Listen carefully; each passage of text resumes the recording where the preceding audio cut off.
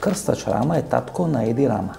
По последната фаза на функционирање на Албанија, Крстач Рама е член на политбюрото на Албанската партија на трудот или партијата на Евра Ходжа или комунистичката партија. Тогаш и Енвер Ходжа ја менува политиката и во смисла на прифаќање на голема албанските барања во територијална смисла. Значи Еди Рама го наследува тоа. И уште нешто како константа е антисловенството.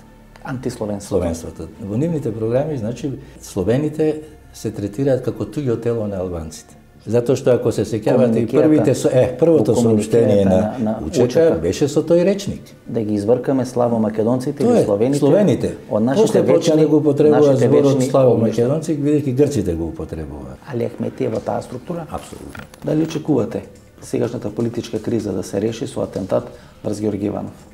Можна е таква опција.